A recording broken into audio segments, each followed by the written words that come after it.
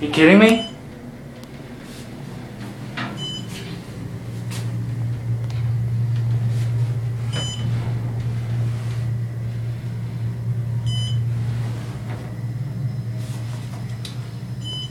Eighth floor hydro. Well, look at that.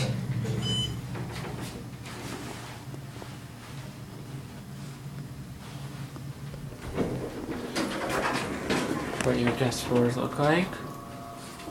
Could you cellar?